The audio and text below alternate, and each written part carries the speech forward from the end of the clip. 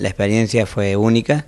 Eh, yo nunca había ido a correr a, Estados Unidos y la verdad que la tecnología que tienen, los circuitos que tienen, son realmente del mundial, son las mismas motos que se usan en el mundo. Eh, yo corrí una Aprilia, una RCB4, que es la misma que está ganando el campeonato del mundo, con mucha tecnología, pero lo importante de lo nuestro es poder trabajar con esa tecnología y, poder usarla. Yo creo que es ahí donde ganamos. Eh, pude poner a punto una moto que eh, tenía muchos elementos para trabajar, pero son difíciles de poner. Eh, nosotros un poco con la viveza, viveza criolla que tenemos acá y con pocos medios, nos rebuscamos a veces con, menos cosas. Así que bueno, con todos esos elementos pudimos trabajar, andar entre los mejores. Eh, así que realmente fue una cosecha magnífica, muchísima experiencia, puertas abiertas, que eso es lo más importante para poder volver.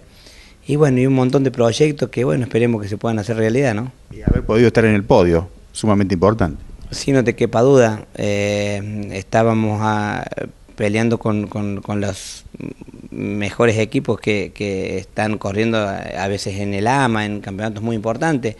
Así que bueno, poder medirse, saber en qué situación estamos conductivamente, tecnológicamente estamos muy abajo, pero conductivamente estamos muy bien, eh, yo creo que estamos hasta a la misma altura o tal vez más arriba, tenemos grandes valores y tenemos muy buena escuela de conducción acá en la Argentina. Eh, por eso pudimos subir al podio, las dos motos, el otro chico que fue conmigo eh, salió segundo en la categoría Stock Bike, en las cuatro mangas que corrió. Eh, y estamos hablando de una cantidad importante de motos.